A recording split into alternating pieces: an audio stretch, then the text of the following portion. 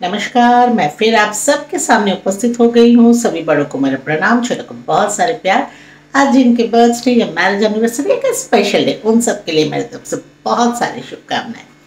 अच्छा पहले मैं बताऊँ कि उस दिन का मटन ना बहुत अच्छा बना था। बहुत टेस्टी था। पर मैं अकेली थी और दो आधा किलो था बट स्टिल मेरे लिए तो मैं मतलब मुझे चारों बार लंच डिनर लंच डिनर ऐसे करके ख़त्म करना पड़ा। बट बहुत टेस्टी बना था। एंड मुझे सच में बहुत ख़राब लग रहा था कि मैं मेरे भाई लोगों को खिला नहीं पाई। सो so, देखते हैं अगर कभी फिर मैं कैलकाटा जाऊँगी तो मैं आई विल ट्राई पर कैलकाटा का मेरा ना किचन इतना सेटअप um, नहीं है क्योंकि वहाँ तो कभी कभी जाके हम थोड़ी देर रहते हैं तो इतना सब कुछ शायद नहीं है फिर भी आई विल ट्राई वो तो देखेंगे फ्यूचर में। और उस दिन जैसे मैं बोल रही थी ना कि फेस्टिवल में हम लोग बहुत रिच खाए, बहुत वैरायटी बहुत मिठाई। अभी थोड़ा सा लाइट सिंपल खाना चाहिए। और जैसे मैंने और भी कहा था कि बस दो घंटा किचन में मेरे लिए। अभी तो मैं दस पंद्रह मिनट वाला रेसिपी कुछ बनाऊँगी। तो आज ऐसे बनाऊँगी जो पंद्रह मिनट भी नहीं लगेगा। मैं स्वीट कॉर्न सूप बनाऊँगी। मैं ना एक्चुअली और पहले बनाती मतलब मैं किचन में आ रही हूँ लाइट ऑफ़ हो रहा है। बार बार पावर कट फिर लाइट आ रहा है। फिर पावर कट पहले तो मैं सोचा पता नहीं आज कर पाऊँगी कि नहीं। एनी anyway, अभी थोड़ी देर बाद लाइट आया और तब से अभी तक ठीक है। सो होपफुली प्रॉब्लम नहीं होगा। तो अभी चलिए मैं शुरू करती हूँ और आप लोगों को दिखाती हूँ। देखिए स्वीट कॉर्न सूप बनाने के लिए ऑब्वियसली स्वीट कॉर्न तो चाहिए। तो मैं जितना लिया ना वो आधा ऐसे रखा और आधा देखिए मैंने मिक्सी में ले लिया कि इसको मैं पीस लूँगी। और इसमें मैं वेजिटेबल्स दे रही हूँ गाजर कैरोट और स्प्रिंग ऑनियन इसके अलावा आप चाहो ना तो इसमें बीन्स दे सकते हो कैबेज दे सकते हो कैप्सिकम भी दे सकते हो, पर मैं अभी फ़िलहाल ये दोनों दे रही हूँ। और थोड़ा सा फ्लेवर के लिए मैं जिंजर और गार्लिक डाल रही हूँ, क्योंकि स्वीट कॉर्न के साथ ना गार्लिक बहुत अच्छा लगता है। और इसके अलावा मैं जब बनाऊँगी, तब बताते जाऊँगी कि और क्या क्या लगेगा। तो पहले मैं इसको पीस लेती हूँ, फिर आप लोगों को दिखाती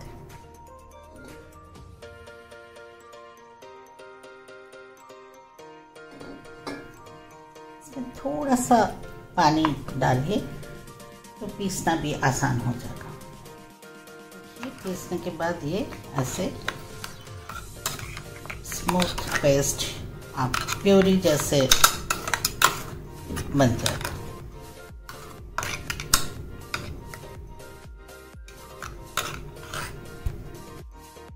मैंने गैस ऑन करके कढ़ाई रख लिया है और इसमें थोड़ा सा बटर दे दूँगी। और फिर उसमें मैं ये जिंजर और गार्लिक।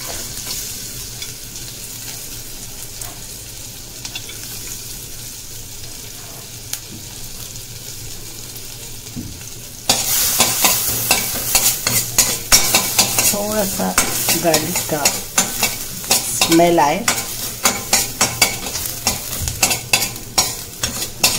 मुझे ना गार्लिक बहुत पसंद है तो मैं कोशिश करती हूँ हर चीज़ में और कुछ हो ना हो, थोड़ा गार्लिक दे दो।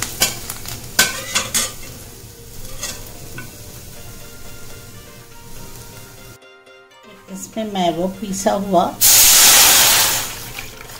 स्वीट थोड़ा ज़्यादा पानी के साथ डाल हूँ और इसको ना अच्छे से उबाल आना चाहिए। थोड़ा सा मेरे मिक्सी में है, मैं और थोड़ा पानी डाल के उसको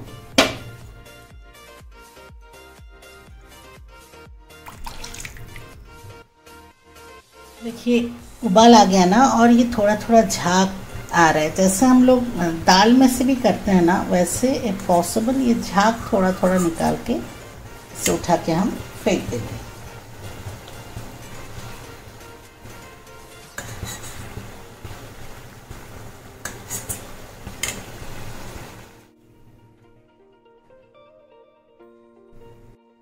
थोड़ी देर उबालने के बाद इसमें हम जो अखा मतलब पूरा जो कॉर्न था होल कॉर्न जो रखा था स्वीट कॉर्न वो डाल देंगे। एंड जो भी वेजिटेबल्स आप डालना चाहते हो, वो भी इसमें मिला देंगे।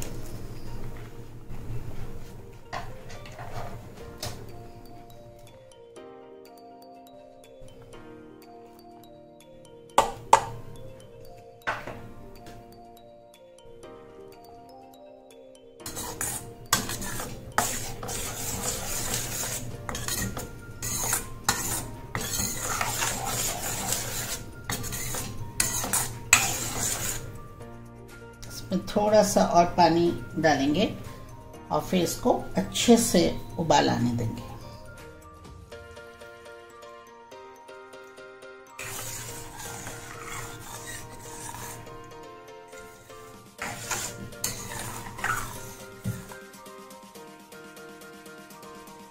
मैं इसमें एक चम्मच नमक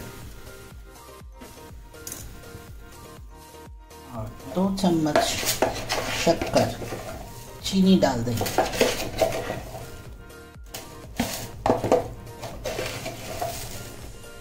क्योंकि स्वीट कॉर्न सूप है तो थोड़ा सा तो आ, मीठा चाहिए अच्छा लगेगा। कॉर्न से भी होगा पर थोड़ा सा चीनी डाल देंगे और इसको हिलाते रहिएगा।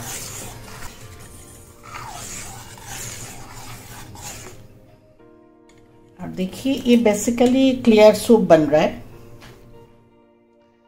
एंड कुछ लोग ना इसमें कॉर्न स्टार्च एरा रूट ऐसे मिलाते हैं, जो मैं नहीं मिलाऊँगी, क्योंकि ऑलरेडी कॉर्न मैंने पीस के दिया तो एकदम पानी के जैसे क्लियर तो नहीं है, आप देख सकते हो।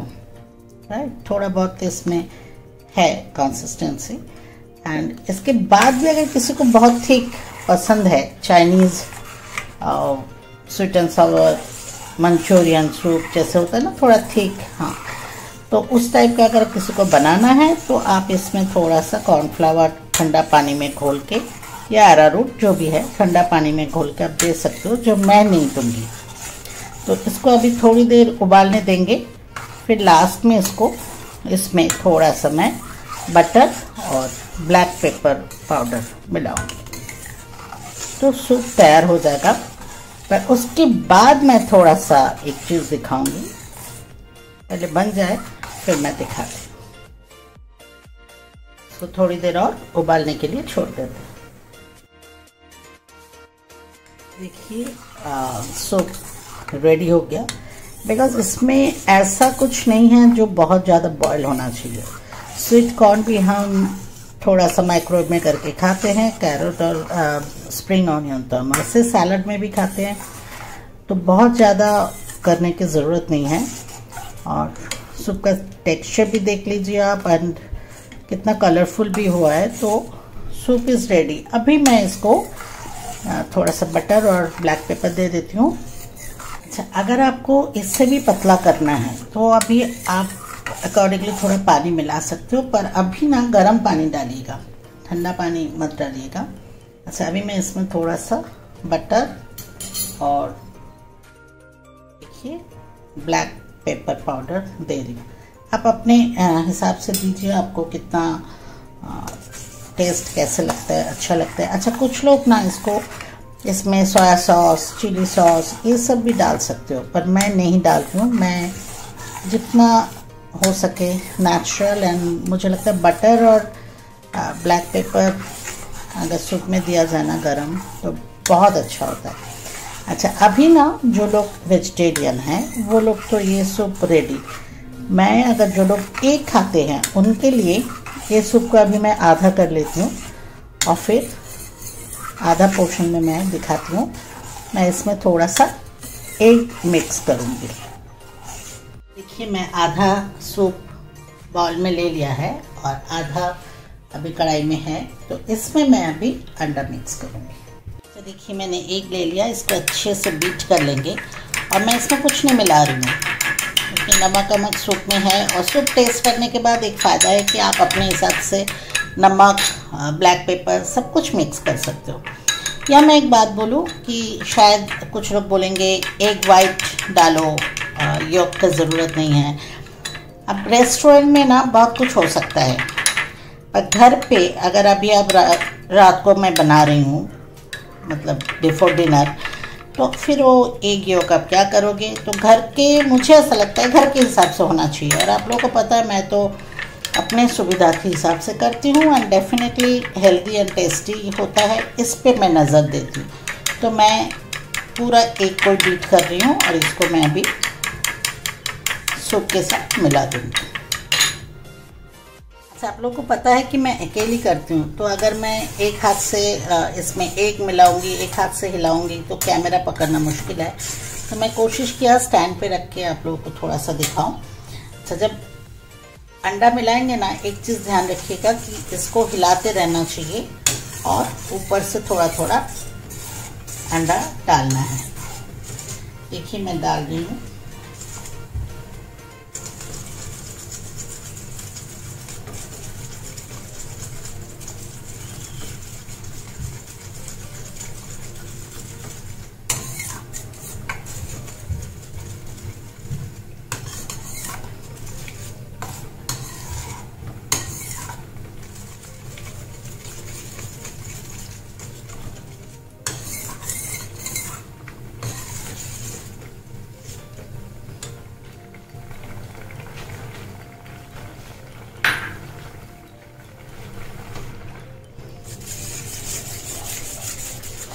अभी इसका टेक्सचर देखिए।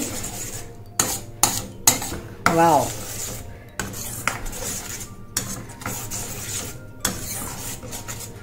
चलिए, अभी इसको भी मैं सूप बोल में डाल के फिर आप लोगों को दिखाती हूँ।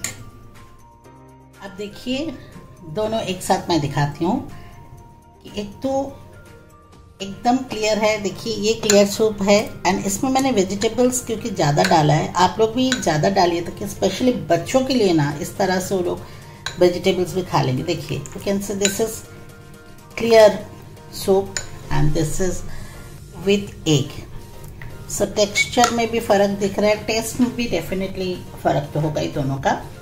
So I prefer this one and soup का एक फ़ायदा क्या है? मानिए नमक कम हुआ, आप डाल सकते हो। मानिए आपको ब्लैक पेपर और चाहिए, आप डाल सकते हो। मानिए आपको जैसे मैंने कहा थोड़ा सा विनीगर या सोया सॉस या चिली सॉस आपको मिक्स करना है, वो आप कर सकते हो। That is up to you पर बना के गरम गरम सूप पी लीजिएगा ज़रूर। आप लोगों ने मैंने मतलब जैसे मैंने बोला, पंद्रह मिनट में नहीं लगा। बहुत इजी बहुत हेल्दी एंड बच्चों के लिए तो स्पेशली बहुत अच्छा है। बनाइए। और जैसे मैं बोलती हूँ ना हर चीज़ रेस्टोरेंट जैसा सोच के क्यों बनाना है? घर में बना रहे हैं ना तो घर के जैसे सोच के बनाना मुझे ऐसा लगता है। ये मेरा सोच है। आ, हो सकता है आपको पसंद आए नहीं आए आपको रेस्टोरेंट जैसे बनाना है वो that is up to you आप इसके साथ सॉस वॉस मिलाइए जैसे मैंने कहा। एंड सूप का एक फ़ायदा है ना अगर थोड़ा कम भी होता है नमक कम हुआ या ब्लैक पेपर कम हुआ तो आप बाद में भी आराम से मिक्स कर सकते हो, या विनीगर सोया सा ये सब भी आप मिक्स कर सकते हो। एंड स्पेशली जैसे अंडा के टाइम में बोल रही थी कि फिर मैं वाइट एग वाइट डालूँ, फिर यॉक को लेके क्या करूँ? तो इतना, मुझे ऐसा लगता है, इतना सोचना नहीं, घर के मतलब हम घर में बना रहे, अपने लिए बना रहे तो जिस तरह से सुविधा होगा, उस तरह से बनाना ही सही है मुझे ऐसा लगता है। तो चलिए, आज ऑलरेडी तो ये लाइट के चक्कर में थोड़ा लेट हो गया तो अभी फटाफट हम लोग डिनर भी कर लेते हैं। So my channel shades life with Molly like करिएगा शेयर करिएगा सब्सक्राइब नहीं किया तो कर लीजिएगा और कमेंट तो ज़रूर करना। मुझे बहुत अच्छा लगता है आप लोग को कमेंट पढ़ना। चलिए, बहुत जल्द फिर मिलेंगे। आज इतना ही। नमस्कार।